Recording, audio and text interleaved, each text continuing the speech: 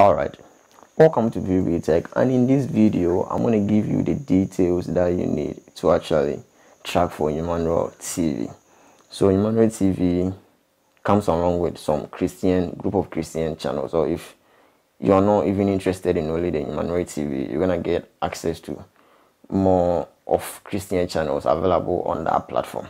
Alright, so you will find this Emmanuel TV on different satellites. You have three listed satellite over here but you have other satellites too that you're gonna find it over there.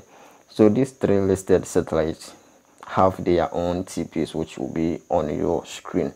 So you're gonna find them on the Intelsat 20 degrees east and you're gonna find them on the Eutelsat W which is on the 10 degrees east.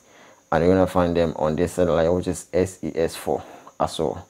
So on the Intelsat you're gonna use this frequency which will be on your screen 11722 vertical 27 26657 which is on Intelsat all right.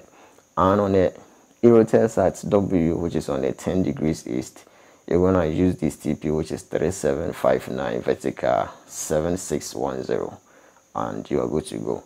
And on the SES4 you're gonna use this TP which is 4142 vertical 1925 all right. So with a satellite dish size you can use a 50 centimeter dish. Any dish ranging from 50 can get you a signal of this group of christian channels.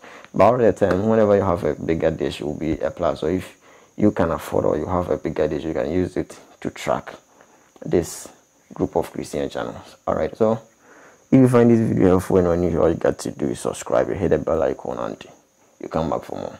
All right thanks for watching